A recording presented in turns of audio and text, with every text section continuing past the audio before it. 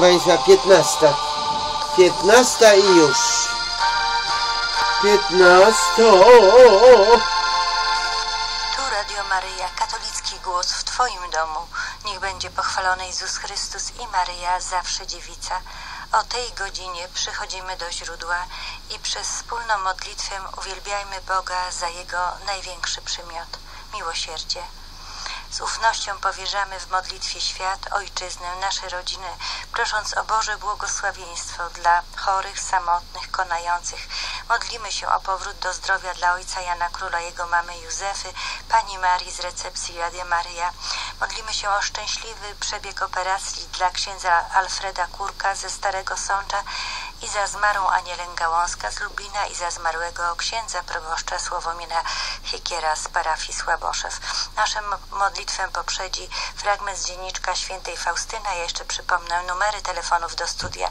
Dla słuchaczy z Polski Północnej 56 655 23 55 Dla słuchaczy z Polski. Południowej 56 655 23 56 Bezpłatne telefony w naszej rodzinie 536 600 100 i 536 600 200 Zagranica 48 56 655 23 33 i drugi numer 48 No i- 56 655 23 66.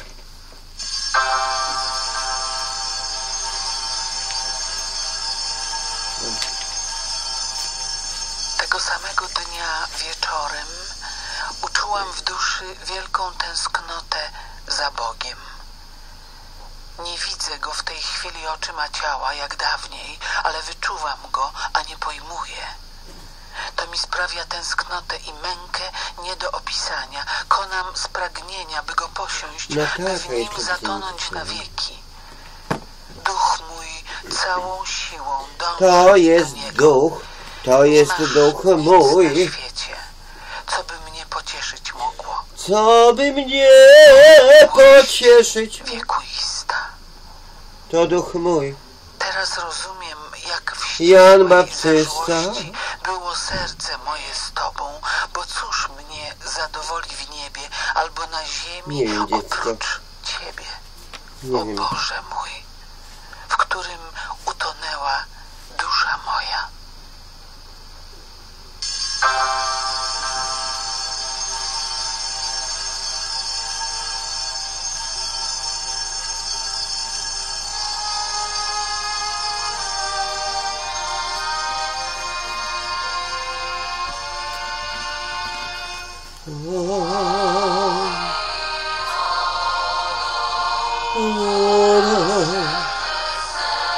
Ja módl się, mój ludu.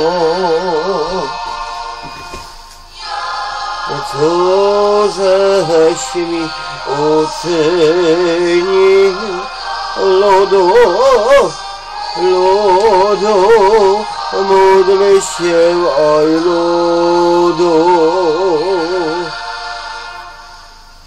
Ach ty mój ludu, co żeś mi uczynił, o ja cóżem ci uczynił. O, jako króla miłosierdzia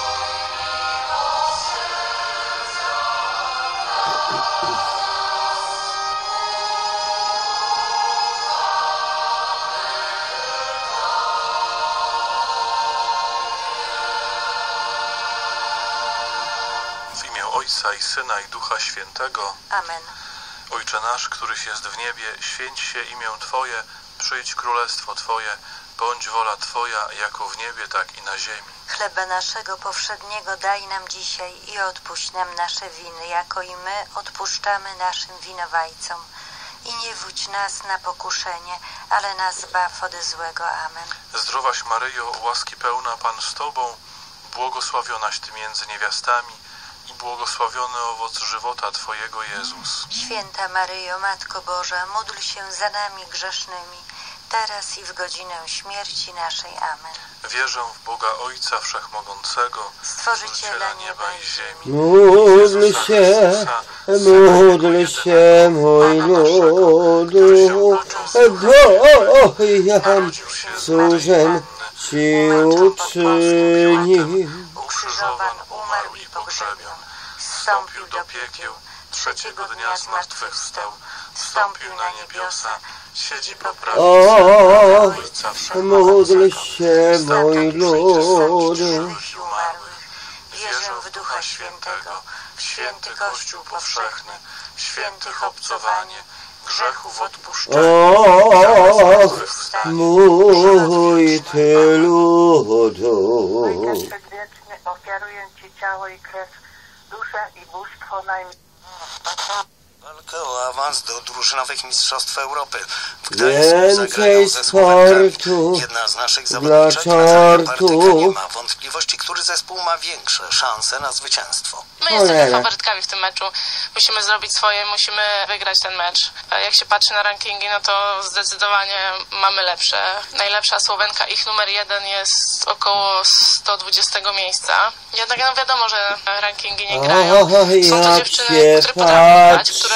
Kilka razy na turniejach międzynarodowych sprawiły niemałą niespodziankę, ogrywając Na dużo lepsze od siebie.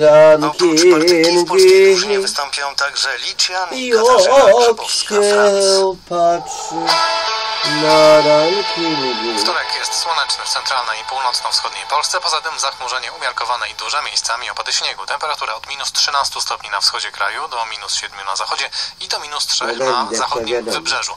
Wiatr umiarkowany na wschodzie i północy miejscami. Porywisty wschodni i północno-wschodni. Ciśnienie wynosi 1011 hektopaskali.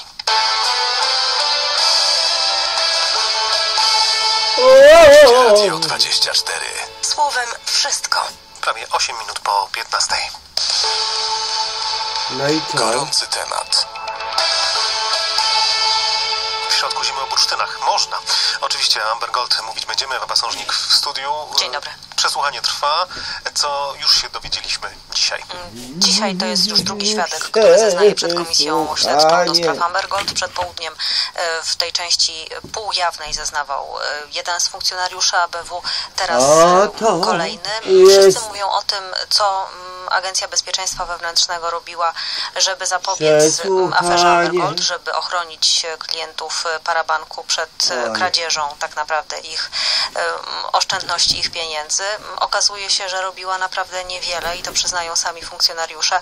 Ten, który zeznaje w tej chwili, przyznał, że mm, dostał do prowadzenia to śledztwo we wrześniu 2012 roku.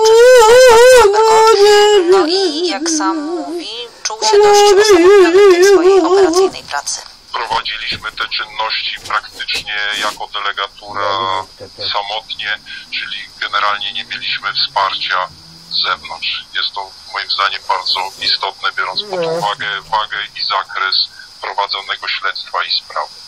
Mając na myśli, że nie mieliście wsparcia z zewnątrz, ma Pan na myśli, że nie mieliście wsparcia z centrali i z pozostałych delegatur? W mojej ocenie tak to wyglądało.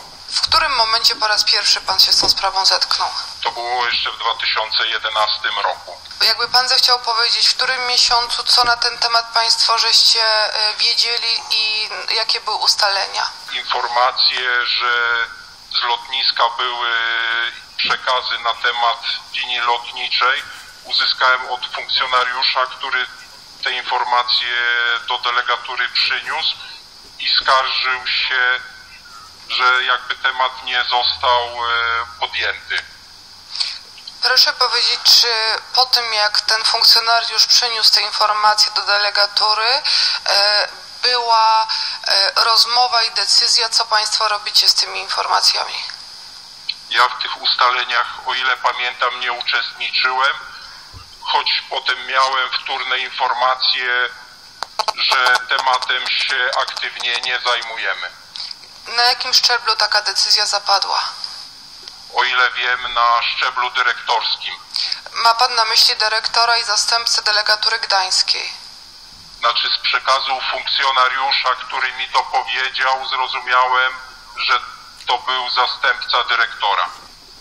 I z tego wynika, że dyrekcja Gdańskiej Delegatury Agencji Bezpieczeństwa Wewnętrznego zakazała swoim funkcjonariuszom zajmowaniem się bardzo ważnym wątkiem afery Amber Gold, czyli tym wątkiem lotniczym. Przypomnijmy, że Amber Gold Marcin P. na pewnym etapie rozwoju firmy e, kupił linię Jeter, stworzył linię OLT Express em, i jest podejrzenie bardzo poważne, że to mogła być po prostu pralnia brudnych pieniędzy i również, że za pośrednictwem e, Pralnia, OLT Express pralnia, pralnia. mogło wyjechać złoto, No. mogły wyjechać pieniądze, gotówka Niestety mm, klientów się stało, Jest to więc wątek bardzo istotny. Jak słyszymy, Gdańska Delegatura ABW się miała tym wątkiem nie zajmować. W wątku lotniczym jest również kwestia współpracy Michała Tuska z Marcinem P. i z OLT Express. Wątek lotniczy miał być zatem poza zainteresowaniem gdańskiej delegatury ABW, co zatem miało być przedmiotem pracy operacyjnej. No podobno to, co leżało u źródeł, u korzeni Amber Gold. Tak zeznaje dzisiaj świadek przed komisją, a pyta go to Małgorzata Wasserman. Co Państwu się udało ustalić odnośnie pochodzenia kapitału początkowego, pomysłu, pieniędzy na rozkręcenie tego wszystkiego? Prawdopodobnie pomysł był zapożyczony y, gdzieś z Niemiec lub y, ze Szwajcarii. Proszę Pana, a jeżeli chodzi o e, pieniądze na e, rozkręcenie tego interesu? Pieniądze pochodziły z wpłat klientów. Proszę Pana, a czyli państw, wedle Państwa pieniądze na rozpoczęcie działalności pochodziły z płat, tak? Była też hipoteza, Ja ale do tego już bardzo że precyzyjnie nie proszę pamiętam, czytać więcej. że pieniądze mogły też pochodzić y, z poprzednich działalności pana Marcina P. Proszę Pana, Jego proszę, żony. proszę Pana, proszę powiedzieć, czy ustaliliście Państwo, czy osoby, które wkład, w, na którymkolwiek etapie, zwłaszcza początkowym i największe kwoty, które wpłacały do Amber Gold, uczestniczyły w tym procederze, to znaczy uwiarygodniały go, ewentualnie prały pieniądze przy pomocy tej firmy? Y, Nie znam szczegółowych ustaleń. A zna Pan w ogóle taki no wątek, żeby takie ustalenia chrześcijanka były niej nie czynione? jest, bo Wiem, że chrześcijanka nie powinna się takimi natomiast, rzeczami e, zajmować. Ściganiem, łapaniem. No jak ktoś, wiesz, Czyli znowu y, y, bezradność oddany jest temu, to bierze to na własną odpowiedzialność, jest nie tak, na własną rękę, sygnały, prawda? No każdy przed Bogiem zda sprawę, ale nikt nie powiedział, że to jest dobre. Ściganie, łapanie, bo to człowiek nie jest od tego, brat w zboże nie może w ten sposób do brata w zboże e, podchodzić, ale to przecież nie jest kwestiami chrześcijański, to są, być może to są poganie, którzy mają różne problemy do w rozwiązania, to jest poganka, to są poganie. No to więc wiesz, E, To mówi że ona zeznaje się wyróżnia, e, aktualnie no ale e, spośród pogan. ale tak jak wspomniałam przed południem y, Mąkosa Jolanta powiedziała, że jestem na czwartym roku prawa, ale no niestety przecież wiadomo, że nie pójdę do sądu i nie będę mogła zostać sędziną, czy w pracować w ogóle w wymiarze sprawiedliwości, w w ściganiu, 2010 łapaniu na dwa lata przed morderców, upadkiem Amber Gold, złodziei, były podejrzenia nie tylko przestępców, w no ABW, ale również Ministerstwie Gospodarki. jako E, chrystianizm nie będą tego robić, no bo człowiek, Chrystus e, nie nad łapał złodziei. wyroki e, sądowe, Jak ktoś kogoś zabił, to trzeba mu przebaczyć. ale jednak ma No ale wiesz, przeszłość i że on stara się, nie dam mm, się to na zasadzie przecież pogaństwa jest, to nie jest, usram się, nie dam się, to nie jest domena chrystianizmu, e, to nie jest domem coś, co głosił Jezus. Chrystus. Jedyną osobą, która chciała e, właśnie się w taką aktywność zaangażować. No i właśnie, Ministerstwo Gospodarki wie, że to jest człowiek, e, delikatnie mówiąc, podejrzany, a mimo to To udziela jest takiej zgody człowiek na otworzenie domu podejrzany, składowego. Witold Zębaczyński z Nowoczesnej pytał Jezus świadka, jak to możliwe. Chrystus, Dokładnie. Prezes go, Marcin P. trzeba w nocy, Karany. aby nikt 1 bądź tego 2 nie lipca 2017 widział, żeby nikt się nie zgorszy, Tak, 2010 że to kapłani Tacy e, są mściwi dostaje 7 i czerwca 2010, a odlituje 22 się e, wykreśla stwór. domów składowych, no to, mm, to te daty jednak troszkę są rozbieżne. Wysnułem wniosek, że to sprawdzenie dopiero nastąpi. Nie rozumiem, dlaczego pan dyrektor miał taić przede mną tą informację, że już ma e, wyniki sprawdzeń. Tego nie, nie potrafię zrozumieć. Podsumowując, Ministerstwo Gospodarki e, wiedziało, że Marcin P. to e, przestępca, a mimo to e, udzieliło zgody na to, żeby zasiadał w zarządzie, był prezesem spółki finansowej, w tym przypadku domu składowego. E, Sprawa dość e, zagadkowa.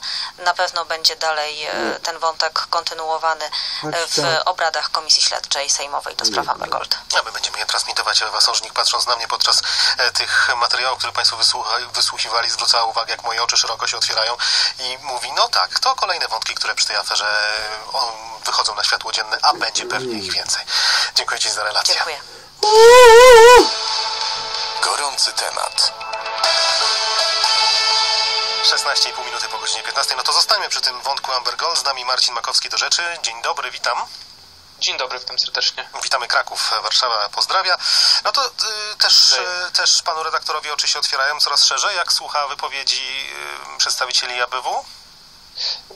Czy, mo, czy mi się mogą otwierać oczy szerzej po tym, co już słyszałem i chyba każdy, kto się interesuje aferą Amber Gold i komisją śledczą, y, komisją sejmową, y, wie, że mamy do czynienia nie tylko z jednorazowym y, zaniechaniem, ale z jakąś taką strukturalną słabością państwa polskiego, które na poszczególnych elementach, y, w poszczególnych elementach, przy poszczególnych służbach, y, poszczególnych osobach, prokuratorach, śledczych, no po prostu zawodziło na całej linii. Były sygnały ostrzegawcze, one się pojawiały wielokrotnie i to z różnych źródeł i za każdym razem jest ta sama prawidłowość przy kolejnym przesłuchaniu, że te sygnały są lekceważone, albo ktoś nie czuje wagi problemu, albo widzi, że coś jest nie tak, ale nie za bardzo wie, co z tym zrobić, ani do kogo pójść e, dalej.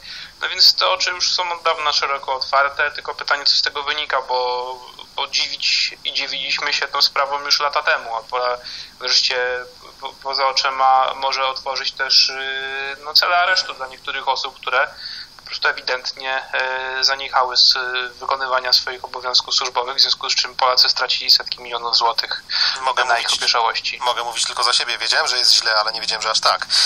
Może to trochę na tej zasadzie. No dobrze, czy No, sprawa... to, no tak, tak, to, to jest niestety Że prawda, jest że za każdym razem, kiedy jakąś aferę w Polsce, e, no to, to dowiadujemy się tylko jeszcze bardziej o Że swojej jest niemocy bardzo i, źle. e, i niestety o czymś takim, co można O, powiedzieć, o, o, nazywanym ale- chaosem. Żadnego dobrego Ale aż tak. e, no, nie może cechować taka opieszałość. No, ona od premiera skoń- się zaczynała, a kończyła się na poszczególnych śledczych w, w gdańskiej prokuraturze, którzy ewidentnie i to sami przyznani, przyzna, e, przyznani podczas przesłuchiwań e, nie dźwignęli wagi tego tematu. Ja mam wrażenie, że to była całkiem dobrze zorganizowana, tylko niekoniecznie, nie, niekoniecznie dobrze zorganizowane państwo, tylko coś innego. Ale to może... Tak, to może zostawmy ten temat. Amber Gold za nami. Trójpolówka w Sejmie. Nie chodzi o uprawę roli, nie chodzi o, o zmiany w ustawach rolniczych, tylko o zmiany w systemie pracy Sejmu. Sejm miałby pracować według pomysłu tak, że najpierw plenarnie, potem w komisjach, a potem w regionach, no ale pomysł się jednak nie przyjął i nie będzie tak pracował. To dobrze, że tak nie będzie pracował, czy źle? To znaczy, wydaje się, że w pewnym sensie byłoby to ciekawe rozwiązanie, patrząc chociażby na frekwencję na sali sejmowej, kiedy odbywają się równocześnie komisje. I wtedy posłowie bardzo często się tłumaczą, a do mediów trafiają takie kompromitujące fotografie w stylu mm, ktoś czyta na przykład projekt ustawy niezwykle istotny, nie wiem, o służbie zdrowia, a na sali jest na przykład dwóch posłów, tak?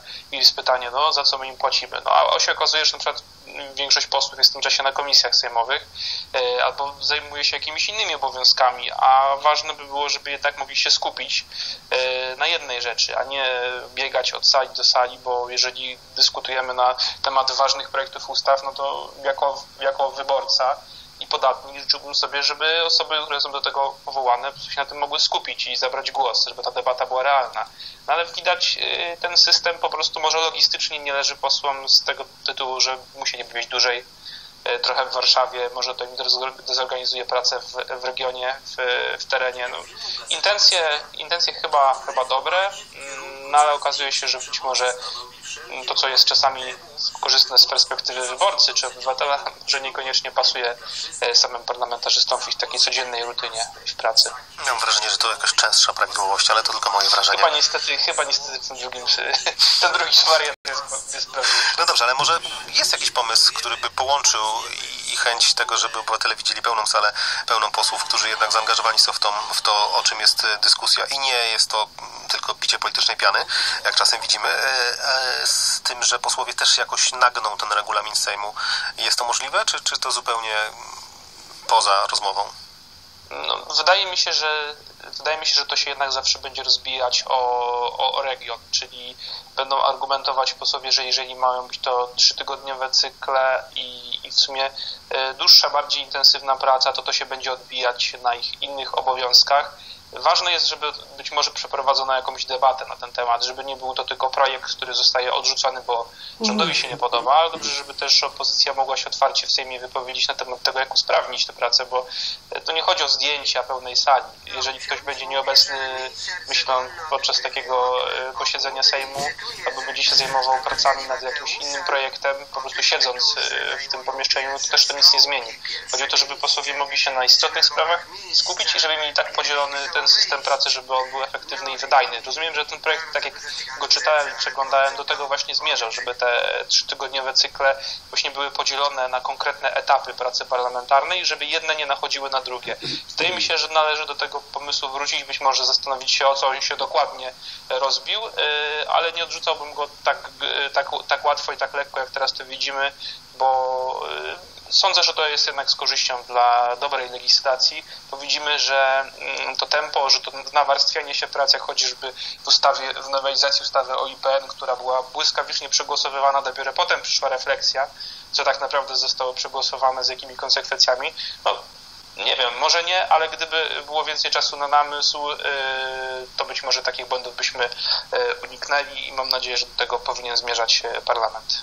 Marcin Makowski do rzeczy jest w Krakowie, jest naszym rozmówcą w gorącym temacie w Polskim Radiu 24. Andrzej Duda dzisiaj w Krakowie też i nie mówię o kolizji, bo jedna ze stacji e, radiowych donosi, że limuzyna prezydenta wjeżdżając na most powstańców śląskich z ulicy Starowiślnej najechała na separator oddzielający pasy ruchu i no Zawisła, tak mm, e, ale prezydentowi nic się nie stało, nikt nie ucierpiał, innego autopojechało dzisiaj odebrać tytuł honorowego obywatela, jednak pomówmy o tym, co Krakowie, spotkanie z środowiskami e, żydowskimi i kolejna prośba, kolejny głos, ważny głos, żeby ta dyskusja, żeby rozmowy w sprawie konfliktu, mam nadzieję, że już wygasającego polsko-izraelskiego, trwały.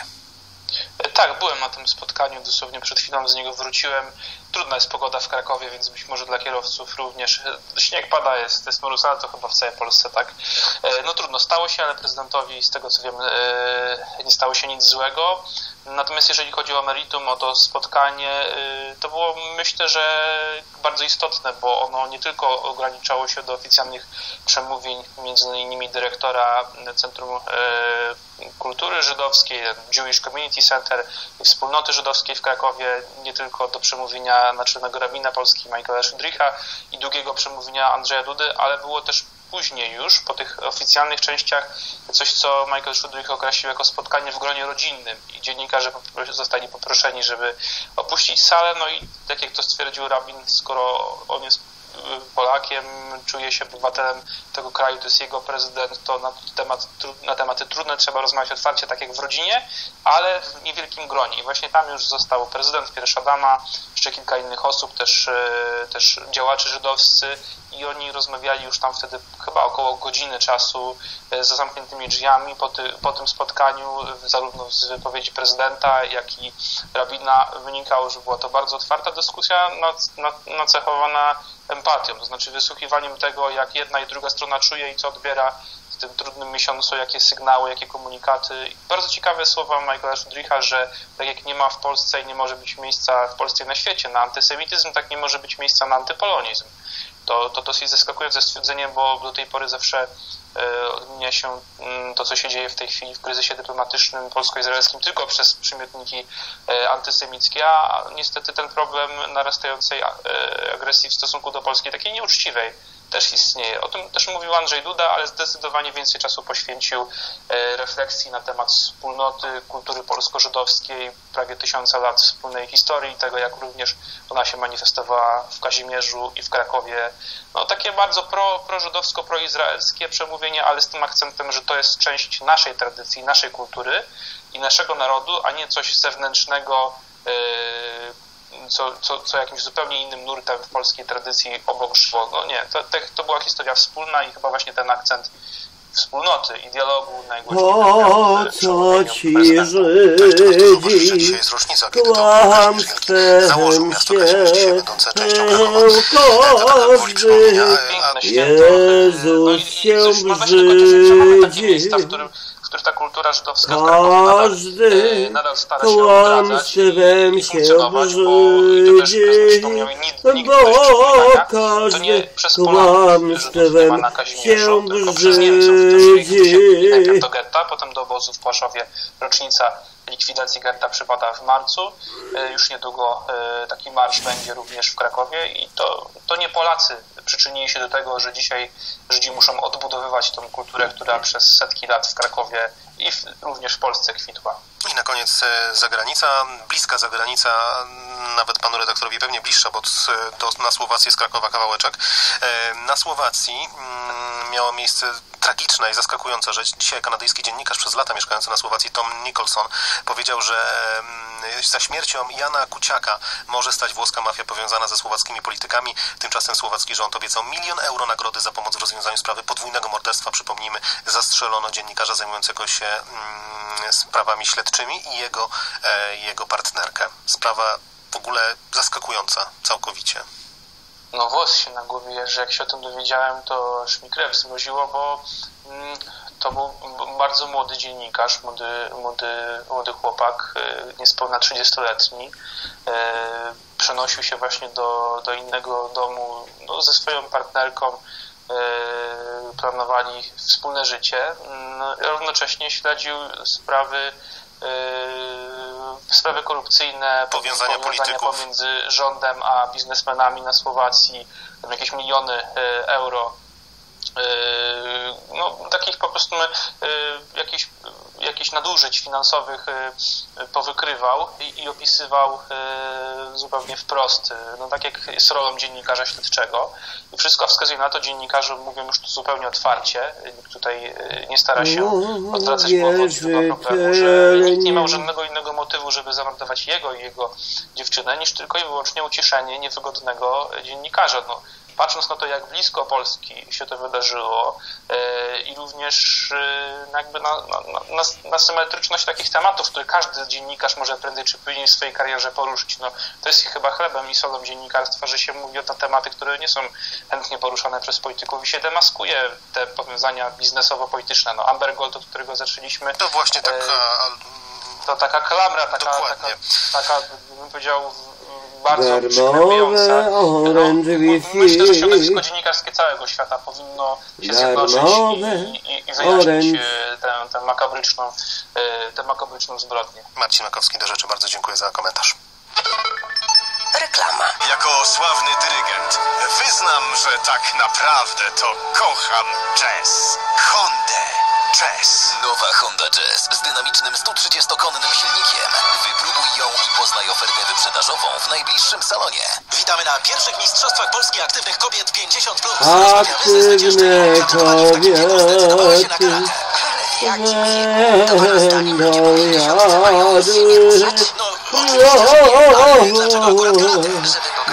Niestety. Trudno jest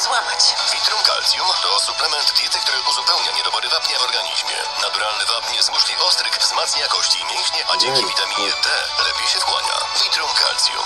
Nie daj się złamać. Ale dali czadu! Mega okazje w Media Expert. Telewizory taniej nawet o 1000 złotych. Na przykład Sharp 32 cale za jedyne 790. Smart TV Sony 49 cali za jedyne 2222. Samsung Smart TV 65 cali, zakrzywiony ekran, 4K Ultra HD, taniej o 1000 zł.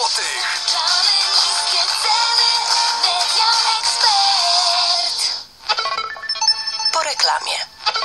Ogłoszenie społeczne. Mam na imię Jadwiga. Straciłam córkę, lecz wciąż jestem mamą. Aniela odeszła. Nie doczekała przeszczepu Ja serca. Zostało po straciłam kilka córkę, zdjęć i setki wspomnień.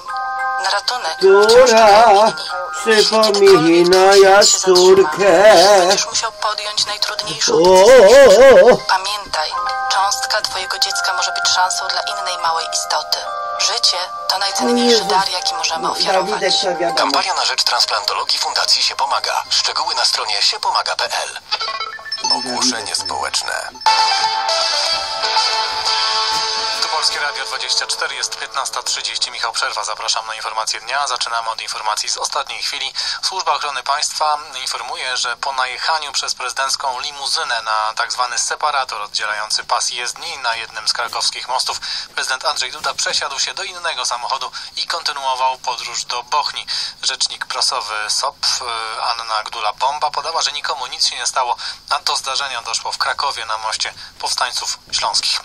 Głosowanie w najbliższych wyborach na Prawo i Sprawiedliwość zadeklarowało 40,6% badanych, na Platformę 22,4%, na SLD 7%, na Kukiz 15 6,7%, a na PSL 6,1%. Tak wynika z najnowszego sondażu przeprowadzonego przez Instytut Badań Społecznych i Rynkowych IBRIS. Pozostałe partie znalazły się poniżej progu wyborczego. Przedstawione przez IBRIS wyniki uwzględniają osoby niezdecydowane. Sondaż został przeprowadzony 26 lutego na próbie 1100 osób metodą telefonicznych, standaryzowanych wywiadów kwestionariuszowych wspomaganych komputerowo. Prowadzenie inwestycji kolejowych w Polsce będzie łatwiejsze. Umożliwi to rządowy projekt ustawy o komercjalizacji i restrukturyzacji przedsiębiorstwa państwowego Polskie Koleje Państwowe. Na Sejmowej Komisji Infrastruktury odbyło się dziś pierwsze czytanie dokumentu.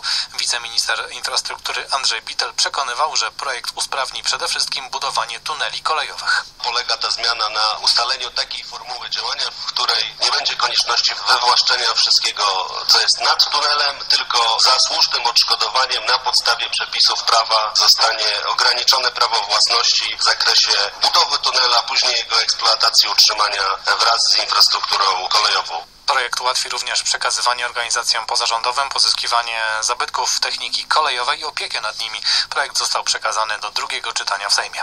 CBA zatrzymało doradcę rolniczego i dwóch pracowników Agencji Restrukturyzacji i Modernizacji Rolnictwa. Mężczyźni podejrzani są o przyjmowanie łapówek w zamian za unijnych. Skarb Państwa na tym procederze mężczyźni, mógł stracić oni podejrzani byli u ludzi. a także szef prywatnego ośrodka doradztwa rolniczego. Z ustaleń Po co to było kombinować? Po co to było rolnicy byli kierowani do prywatnego ośrodka, gdzie uzyskiwali potwierdzenie odbycia szkoleń. Podejrzani urzędnicy czuwali nad składanymi wnioskami, poprawiali je i podmieniali dokumenty, w których były błędy uniemożliwiające uzyskanie dotacji. Służby apelują do rolników, którzy mogli być zamieszani w ten proceder, aby dobrowolnie zgłosili się do CBA lub prokuratury. Jeśli pierwsi ujawnią udział w korupcji, mogą uniknąć odpowiedzialności karnej. Mariusz Pieśniewski, Polskie Radio. Katowice odkupią dom kompozytora Wojciecha Kilara. Kompozytor spędził w nim ponad 60 lat. To wspólna inicjatywa rodziny Kilara i prezydenta miasta Marcina Krupy, któremu zależało na upamiętnieniu twórcy w przestrzeni miasta. W budynku powstanie obiekt kulturalny związany z muzyką kompozytora albo muzeum, powiedział prezydent. Katowic Marcin Krupa. Chcemy, aby spółdzielnie nie tylko znalazło swoje miejsce naszego miasta i wydaje się, że najlepszym miejscem jest dom rodzinny Wojciecha Kilara, w którym mieszkał, w którym komponował, w którym pracował, no i który już jest znany na mapie naszego miasta. Wojciech Kilar zmarł w grudniu 2013 roku. Po raz pierwszy w historii Saudyjki mogą starać się o przyjęcie do wojska. Będą pełniły funkcje pomocnicze, m.in. w. Riyadzie, Mekce i Medynie. Kobiety z wyższym wykształceniem w wieku od 25 do 35 lat mają czas na złożenie aplikacji od najbliższego czwartku. Czeka je egzamin i rozmowa kwalifikacyjna. Żołnierzem Dobra. może zostać tylko taka Saudyjka, która urodziła się i dorastała w królestwie. Nie może też mieć męża obcokrajowca i musi przejść szczegółowe testy medyczne. Od stycznia kobiety mogą pracować również na przejściach granicznych. 140 stanowiskami zainteresowało się aż 107 tysięcy Saudyjek. Zmiany w królestwie związane są z programem reform i coraz większymi swobodami dla kobiet. Od czerwca Saudyjki będą mogły prowadzić samochody, mogą także kibicować w czasie rozgrywek na stadionach. Jednak organizacje zajmujące się prawami człowieka nadal podkreślają, że Arabia Saudyjska jest państwem, które opresyjnie traktuje kobiety. Bez męskiego opiekuna nie mogą one wyjeżdżać za granicę czy pójść do pracy. Dla Polskiego Radia Anna Dudzińska, Dubaj. Polskie Radio 24. Słowem wszystko. I 24,5 minuty pozostały do godziny 16 w studiu Ewa Sążnik, to znaczy, że znów o Amber Gold i za moment przeniesiemy się do Sejmu, by posłuchać ciągu dalszego przesłuchania. Ile ono może dzisiaj potrwać? Trudno powiedzieć. Zazwyczaj to trwa kilka godzin. W przypadku pierwszego dzisiejszego świadka zaczęło się to jawne przesłuchanie o 10.15, zakończyło się po godzinie 12.00, więc no tutaj możemy przypuszczać, że może być podobnie, ale tutaj nic nie jest tak naprawdę przesądzone. A ta część niejawna też nas czeka jeszcze w przypadku drugiego świadka? W tej chwili jesteśmy w trakcie części niejawnej drugiego świadka, potem em, będzie jeszcze część tajna, do której my nie mamy dostępu, e- ewentualnie e, potem e, mogą być odtajnione Od rzeczywistości, przemyśleń i subiektywnych zupełnie odczuć, tylko rozumiem, że taka informacja musiała zostać uzyskana przez Jusza ABW, tak? Nie znam szczegółów uzyskania, więc Słucham. nie wiem personalnie od kogo została ona uzyskana No to takie i dlaczego godzina, użyto no. takiego sformułowania. Zostało użyte sformułowanie, że jest bardzo poważany. No ja Przewoźnik no, nawet OLT nie jestem Express przez władze portu no. lotniczego, jak i urzędników No, z Urzędu Miasta no. Gdańska, No więc dobrze, rozumiem, dobrze, że to jeszcze działa ta informacji infolinia? niewiarygodnych albo e, nie wpisujecie, nie przekazujecie, albo jeżeli jest to No ale informacja na pewno ważna i wyłączą. wykluczająca pewne Bo dzisiaj podejrzenia, to rozumiem, że 27. takie zdanie by się znalazło, że Ale to nie ja, ja ci mówiłam o co chodzi, ale że ty taki ciemny, to ja nie wiem. Jeżeli uzyskał i tak opisał, to musiał takie informacje uzyskać. Natomiast jeżeli nie dokonał oceny, trudno mi w tej chwili to oceniać. Natomiast biorąc pod uwagę okres, w którym y, był opisywany o rzekomym poważaniu tych linii, wiązał się z rozwojem gdańskiego lotniska. Tak, I tak. myślę, że Jakie, patrz, zdobycie dużego patrz, patrz, patrz, patrz. było Patrz, potencjalnie patrz, dla patrz, lotniska patrz, patrz. ważne, żeby zwiększyć ruch i ważność lotniska. Ale mówimy w tym Ale przypadku również, rozumiem, rozumiem, że tutaj świadek jakby chce w tym momencie samodzielnie dokonać takiego, e, takiego wniosku, co mogłoby wynikać, ale chciałbym jeszcze wrócić do kwestii grupy osób, które współpracowały bardzo blisko i świadomie z państwem P. Czy świadek dostrzegał przestępcze zaangażowanie w działalność Amber Gold innych osób oprócz państwa P? Na podstawie informacji, które Państwo zebraliście. Jako grupa przestępcza, czy... Wie Pan co, tak, ja chciałbym dążyć do tego, żebyśmy mogli odpowiedzieć również na to pytanie, e, czy był materiał dowodowy, który pozwalał na postawienie zarzutów kolejnym osobom, z, które świadomie, w mojej ocenie, współpracowały z państwem P, ale również wątek, który był badany przez choćby Centralne Biuro Śledcze, kwestie zorganizowanej grupy przestępczej. O jakim wątku CBŚ mówimy? Mówimy o prowadzonych czynnościach przez Centralne Biuro Śledcze od kwietnia 2012 roku, gdzie e, Centralne Biuro Śledcze prowadziło czynności, wskazując, że Amber Gold to może być zorganizowana grupa przestępcza. W tamtym czasie się z takimi materiałami nie zapoznawałem, więc trudno mi ocenić. Ale ja nie mówię, żeby świadek wyciągał wnioski z pracy funkcjonariuszy CBS-u. Ja chciałbym, żebyśmy porozmawiali w tym momencie na temat tego, czy udało się delegaturze gdańskiej ABW uzyskać informacje w postaci materiału, który pozwoliłby na postawienie zarzutów za działalność Amber Gold innym osobom niż pani Katarzyna P. i pan Marcin P. W mojej ocenie było to możliwe do wykonania, biorąc pod uwagę, że firma nie działała w oparciu tylko o te dwie osoby, ale o sztab wielu ludzi, którzy tę firmę prowadzili, pomagali prowadzić tę firmę, te lokaty sprzedawali i uzyskiwali z tego tytułu też korzyści. Słusznie, świadek zauważył. A czy mm, jeśli chodzi o e, tę kwestię, czy świadek przekazywał swoim przełożonym również e, takie informacje, że na podstawie tych, tych e, zebranych czynności operacyjnych wynika, że na ławie oskarżonych powinny znaleźć się również inne osoby niż jedynie e, państwo P? Szczegółowo nie pamiętam jakie informacje, ale na pewno, na pewno to było analizowane. A czy ABW ustaliła związki Marcina P., pani Katarzyny P.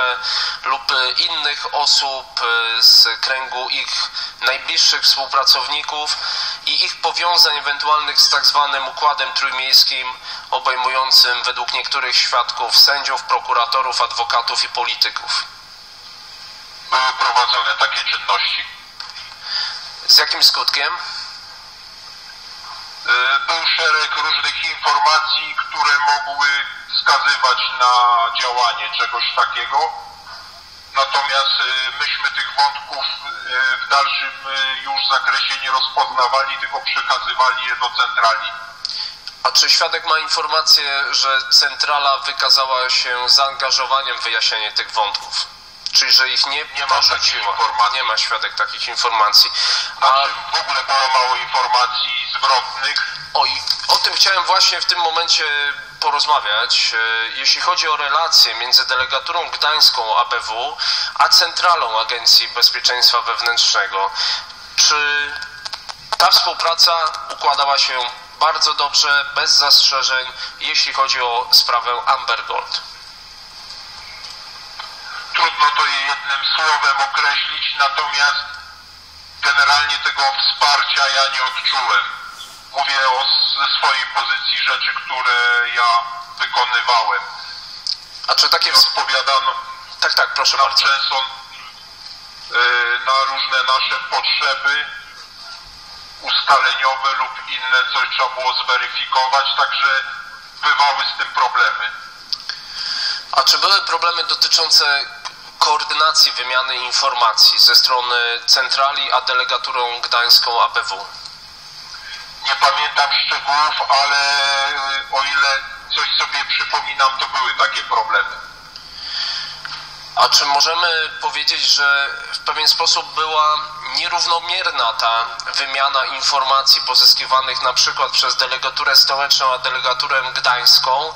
E, Czy to było tak, że Państwo uzyskiwaliście wszystkie informacje, które mogły być przydatne do prowadzonych czynności na zlecenie prokuratury w związku z tematem Amber Gold? Czy raczej częściej Państwo przekazywaliście te informacje do centrali, a rzadko uzyskiwaliście informacje, które były zgromadzone w delegaturze stołecznej. Nie potrafię tego ocenić, dlatego nie wiem, e, jakim materiałem dokładnie dysponowała delegatura stołeczna i co przekazywała. Więc takiej oceny trudno mi dokonać. A czy pion operacyjny gdańskiej delegatury ABW otrzymywał instrukcję z centrali i w jakim zakresie? Instrukcje otrzymywałem od bezpośrednich przełożonych. Nie miałem bezpośredniego przełożenia na Warszawę.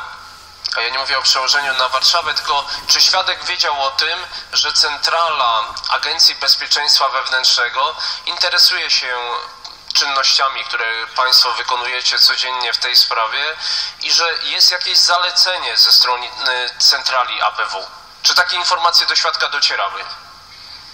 Bezpośrednio nie, ale trzeba zakładać, że centrala się musiała interesować taką sprawą. To jeżeli chodzi o jeszcze kwestię e, tutaj tych relacji, to czy można powiedzieć, że centrala ABW miała zaufanie do delegatury gdańskiej w tej sprawie? Według mojej oceny nie.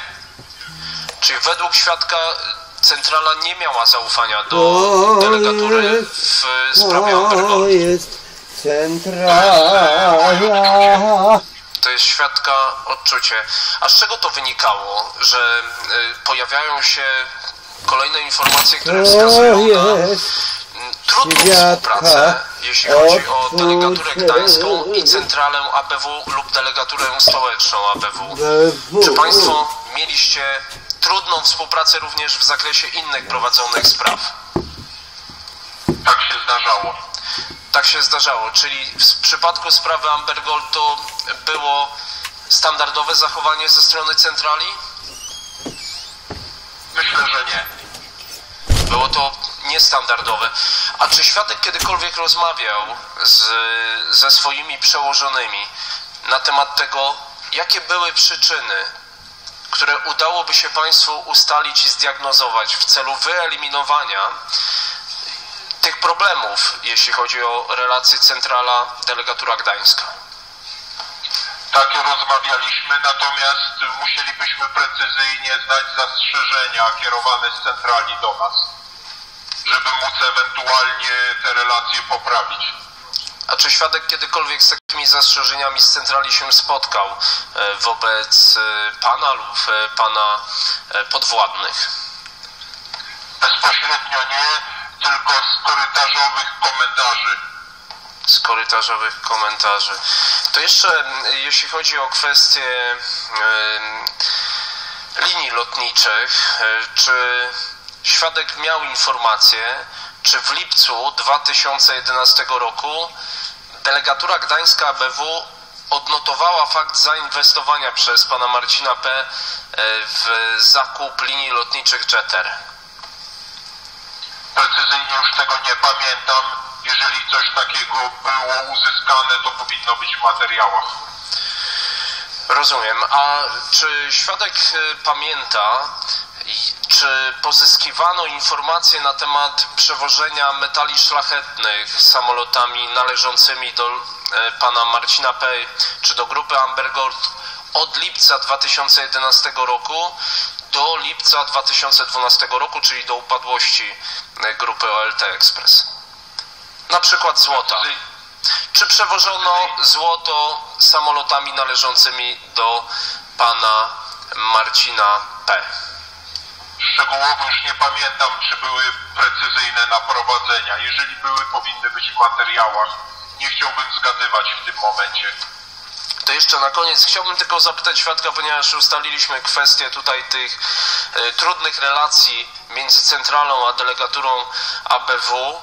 E, a jakie jeszcze były problemy, jeśli chodzi o prowadzone e, czynności w sprawie Amber Gold, które świadek zidentyfikował, tak jak to, co świadek zapamiętał, jeśli chodzi o e, ograniczone, tak to może nazwijmy, zaufanie ze strony centrali do delegatury. Jakie jeszcze występowały problemy, które świadek zdiagnozował? W mojej ocenie za odpowiedzialnością za całą sprawę Amber Gold chciano obciążyć delegaturę w Gdańsku. A kto chciał obciążyć delegaturę w Gdańsku? Wydaje mi się, że centrala. Centrala ABW. A na jakim etapie świadek uzyskał takie informacje? Po tym, jak jesteśmy traktowani i jak jesteśmy wspomagani w tej sprawie. Ale czy świadek miał poczucie, że sprawa jest rozwojowa, jest sprawą dużą i brakuje państwu na przykład funkcjonariuszy, którzy by tym tematem się zajmowali? Można tak powiedzieć. A, a czego brakowało państwu jako funkcjonariuszom ABW? Jakiego wsparcia? Informacyjnego. Informacyjnego, czyli to jest temat numer jeden, jeśli chodzi o kwestię przekazywania i wymiany informacji ze strony centrali, a delegaturą w sprawie Amber Gold. Tak to widzę.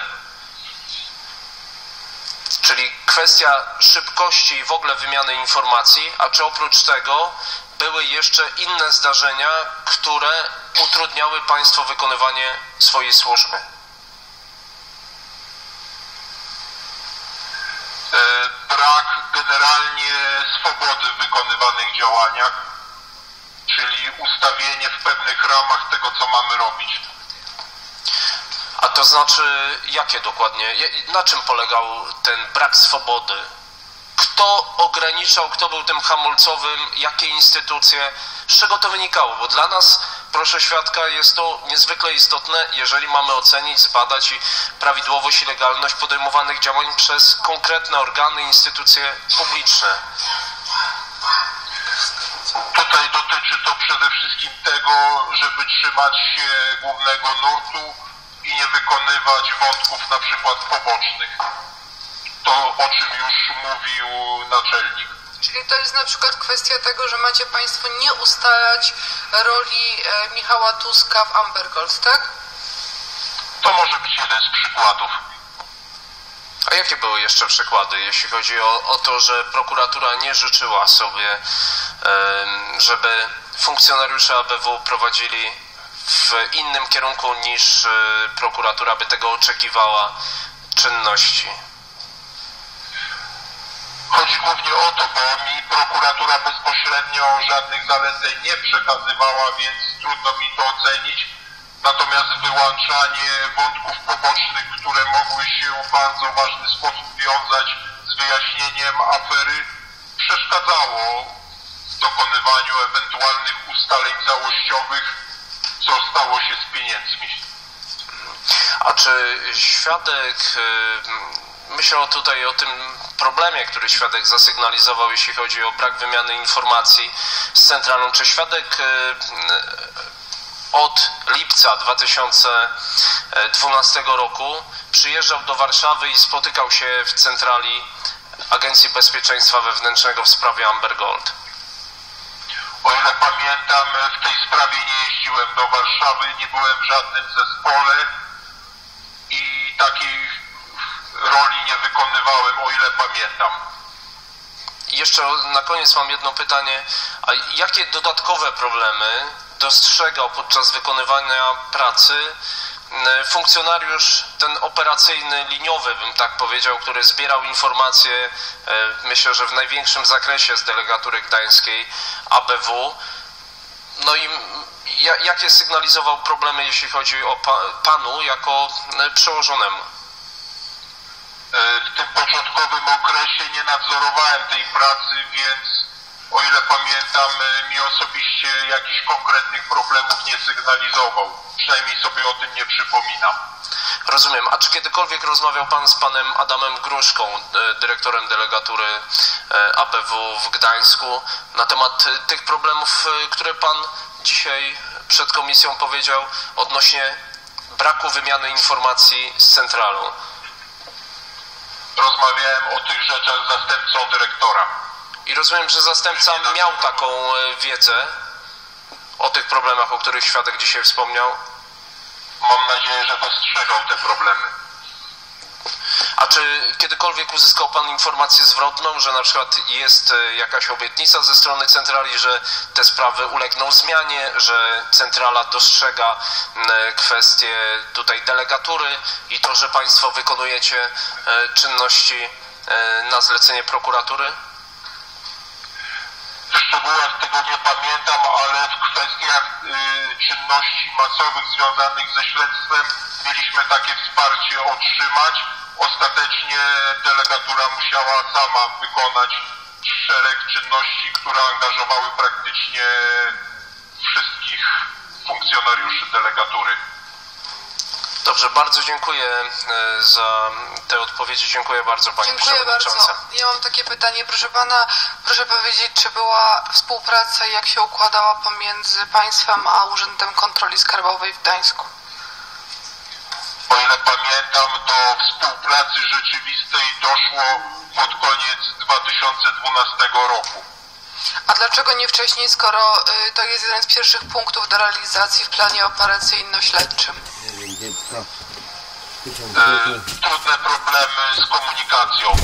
Pomiędzy kim a kim były te Jak ja problemy? mam dostać I kto je stwarzał? 500, to ja dziękuję za taką O ile pamiętam, były Nie, o, o, o, nie, nie. To znaczy, proszę powiedzieć konkretnie, co pan ma na myśli. Mogę stać. problem z uzyskaniem informacji z kontroli i ustaleń. Proszę pana, a proszę powiedzieć, czy było takie założenie, że państwo poprosicie Urząd Kontroli Skarbowej o włączenie się i przeprowadzenie kontroli? Nie Urząd Skarbowy, tylko Urząd Kontroli Skarbowej. Myślę, że takie ustalenia musiały być wykonywane, choć w początkowym okresie ja w takich rozmowach nie uczestniczyłem. Proszę pana, czy kiedykolwiek Urząd Kontroli Skarbowej rzeczywiście włączył się w, i w kontrolę, czy przejął kontrolę nad Amber Gold? Ja pamiętam tylko pod koniec y, 2012 roku uczestniczyłem w spotkaniu dyrektora Urzędu Kontroli Skarbowej, jest tak. UKS, No, to dyrektora jest. delegatury i chyba jeszcze mojego naczelnika, gdzie omawiane były kwestie związane ze wsparciem ze strony UKS. Proszę pana, a i co uzyskaliście to wsparcie chociaż w grudniu, czy pod koniec, jak pan mówi, 1 12 roku? O ile pamiętam, uzyskaliśmy takie zapewnienie. Tylko zapewnienie, nic więcej, tak? Tak to pamiętam. Tak to pan pamięta. Proszę pana, a proszę powiedzieć, czy państwo w ramach wsparcia weryfikowaliście rolę mm, prezesa lotniska w Gdańsku, no bo od tego się zaczęły wszystkie państwa działania. Nie pamiętam szczegółów tych czynności. Mm, A proszę pana, czy ta, no proszę sobie przypomnieć, czy, czy państwo żeście weryfikowali rolę pana Frankowskiego, e, pana Kloskowskiego, no tych, pa, tych osób związanych, e, pana Łyczby, tych osób, które były związane z liniami lotniczymi, e, a co do których mieliście informacje, iż e, mogą to być zachowania, e, m, powiedziała, które mogą uzasadniać zainteresowanie ze strony ABW. Szczegółów już tych działań nie pamiętam, a nazwiska kojarzę. A czy były jakiekolwiek działania w stosunku do tych osób? Szczegółów już nie pamiętam, pani przewodnicząca. Dziękuję bardzo, pan poseł Rzymkowski. No, dziękuję bardzo. Świadka, czy delegatura ABW w Gdańsku na polecenie kierownictwa Agencji Bezpieczeństwa Wewnętrznego, w tym bezpośrednio generała e, Krzysztofa Bondaryka, przed dniem 24 maja 2012 roku przekazała posiadane materiały operacyjne dotyczące spółki Amber Gold do centrali ABW i na ich podstawie sporządzona następnie została słynna notatka z 24 maja.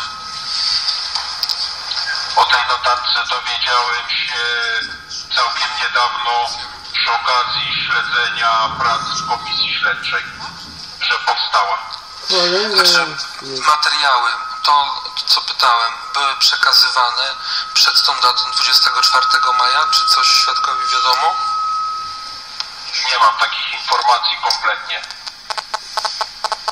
Czyli zdaniem świadka raczej nie były z delegatury gdańskiej przekazywane do Warszawy. Ja ich nie przekazywałem, przynajmniej nie przypominam sobie. A świadek zapoznawał się już teraz z tą notatką z 24 maja? E, W internecie. Mhm. Ale z, rozumiem z kopią e, tej notatki. Dokładnie tak. E, Czy zdaniem świadka materiały zgromadzone w Gdańsku były elementami składowymi późniejszej notatki z 24 maja? Trudno to określić. A jakby świadek się postarał, bo rozumiem, że pytania są trudne, ale Nie chciałbym w tej kwestii zgadywać. no, rozumiem. Proszę świadka, czy w dacie wszczęcia sprawy świadkowi był znany fakt, iż 15 maja, a więc 10 dni wcześniej bank e, BGŻ na skutek działań delegatury stołecznej Agencji Bezpieczeństwa Wewnętrznego złożył zawiadomienie o podejrzeniu popełnienia przestępstwa z artykułu 200. Kolejne pytania do świadków wpadają na przesłuchaniu. Komisja Śledcza do zbadania prawidłowości i legalności działań organów i instytucji publicznych wobec podmiotów wchodzących w skład grupy Amber Gold przesłuchuje kolejnego świadka do tematu. Będziemy wracać w Polskim Radiu 24. Reklama. Wyobraź sobie, nie O nie, o nie, o nie, o nie, o nie, o nie, o nie, o nie, o nie, o nie. Zechcą kolejne popołudnie spędzić z nami.